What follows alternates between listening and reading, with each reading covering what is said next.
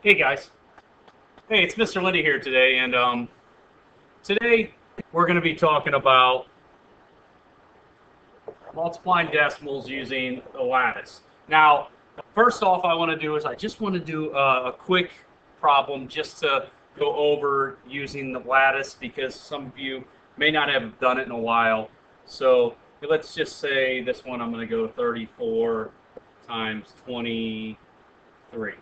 Okay, so you remember that all we have to do is put a 3, a 4, and then on this side, on the right side, put 2 and a 3.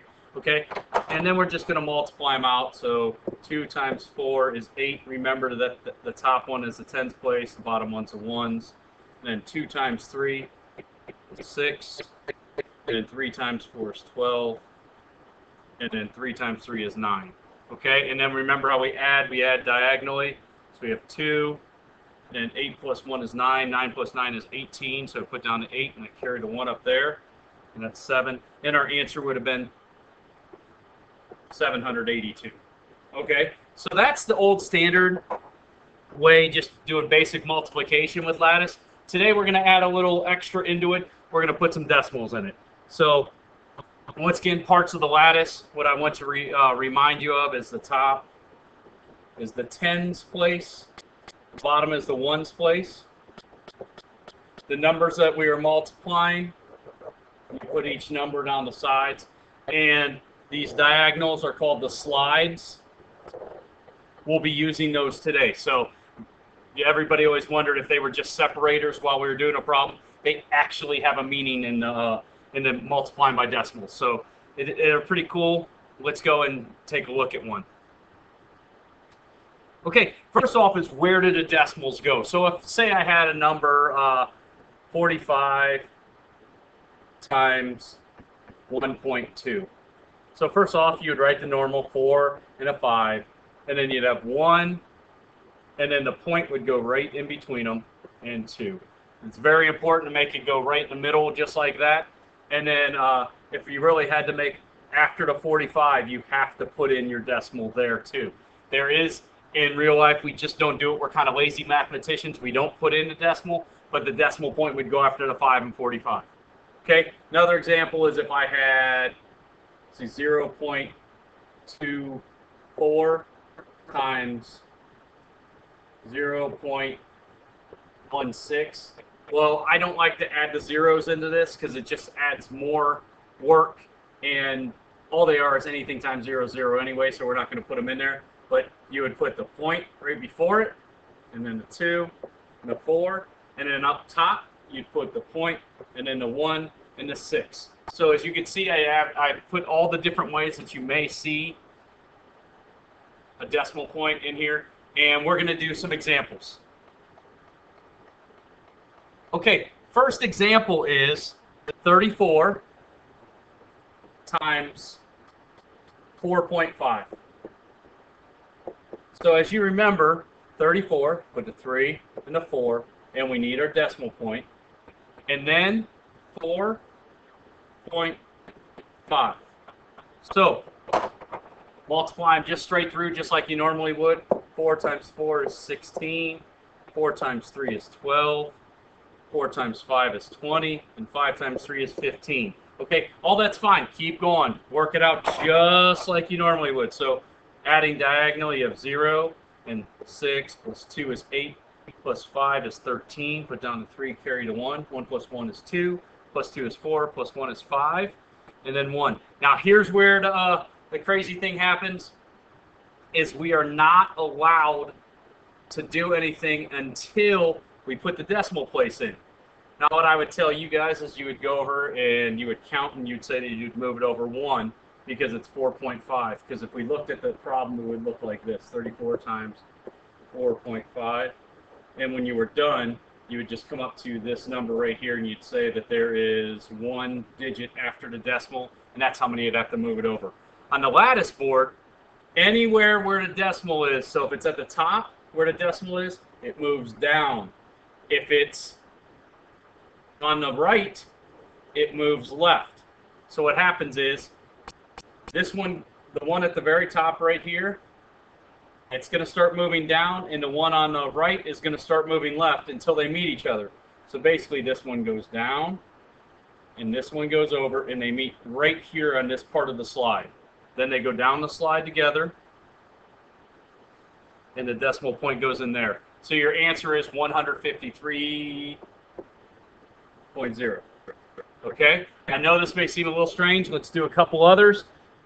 Okay? Next one. We're going to go 6.8 times 7.2. Okay? So you have your 6.8, then you have your 7.2. Okay, let's see what happens here. 7 times 8 is 56. 7 times 6 is 42. 2 times 8 is 16. And 2 times 6 is 12. Okay, I flew through those. Got those. Now let's do the adding. 6. We have 6 plus 1 is 7.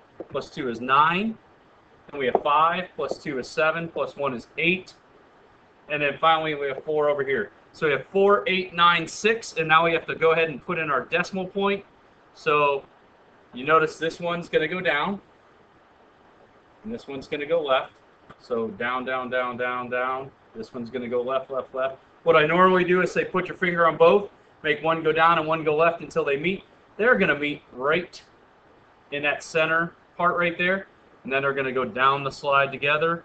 And the decimal point's going to go right there. So your answer is 48.96. Okay? Just keep doing them. They're kind of fun once you get going, and they're a lot easier to count than the area method. Um, all right, let's give another one. Okay, we have 0.25 times 6.4.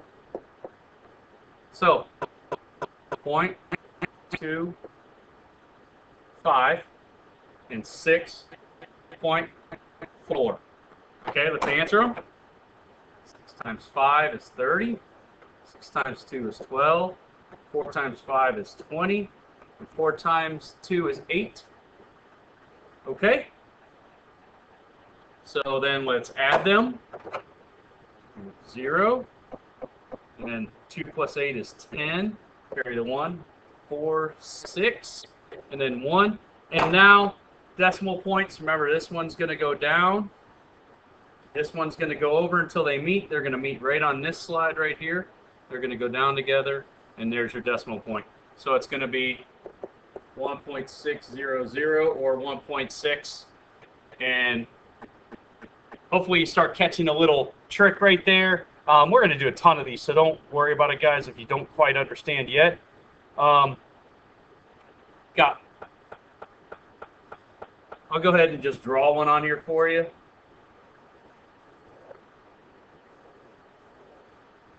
So we have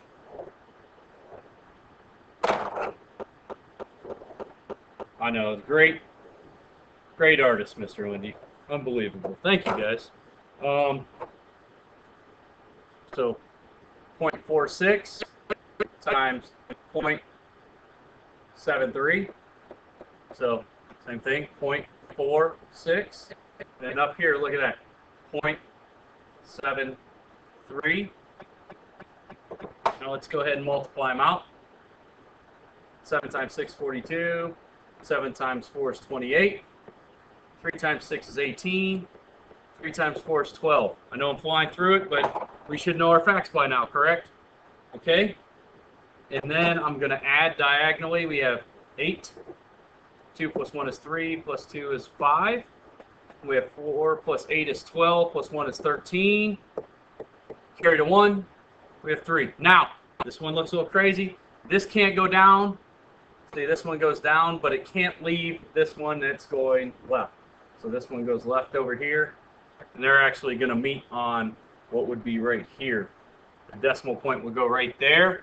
And if you look, if I were to stack these on top of each other, 0.46 times 0.73, and you multiplied it all out, remember, you go up and you count the number of digits after the decimal. So here's one, and you have one, two. Then after this decimal, there's one, two. So that means four spaces. So if we were going to get our answer, you'd go one, two, three, four. Look, it goes right there anyway. So your answer is 0.3358. If you want to put a zero in front, that's fine with me. Okay, guys. So some pretty uh, pretty cool trick right there with lattice. I really like this method. I think uh, students tend to enjoy it. So um, we'll do some more tomorrow. Give it a go. Um, hopefully you paused it a couple times and tried them. Um, this will be of the day tomorrow. Okay, guys. See you later.